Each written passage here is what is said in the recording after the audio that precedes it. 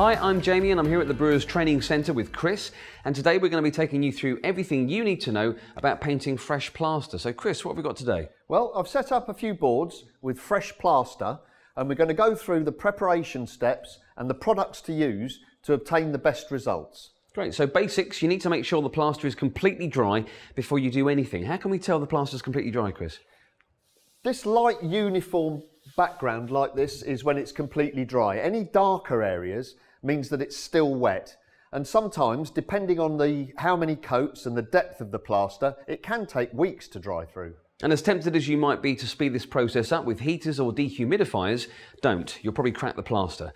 So the first thing to do is get the surface prepped. Get some dust sheets down, stick a mask on and lightly sand the surface of the plaster with 120 grit paper, just to remove any small imperfections and key the surface. If it's over shiny, the paint won't stick. Once this is done, you can then seal the plaster with a base coat, mist coat, or ghost as it's known. Chris, why can't you simply emulsion the plaster? Well, standard emulsion has a much higher vinyl content, especially some of the quality designer paints. So you must base coat first because they won't stick to the plaster.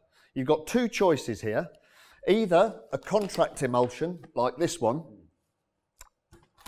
which is perfect for the job, or you can water down a standard emulsion with four parts water to six parts paint. I would always suggest though that you water down even the contract emulsion to get best adhesion. Should look a bit like full fat milk if you've got it right. Whichever you use, stick one coat on, let it dry, and then you're ready for the next stage. As you can see, we've got a dry board here, and the ghost has shown up a few cracks. Fill those in with a multi-purpose filler, let it dry, and sand it back. Then your plaster's ready to paint. Yep, we're ready to go. I would normally suggest at least three coats. Cheers, Chris.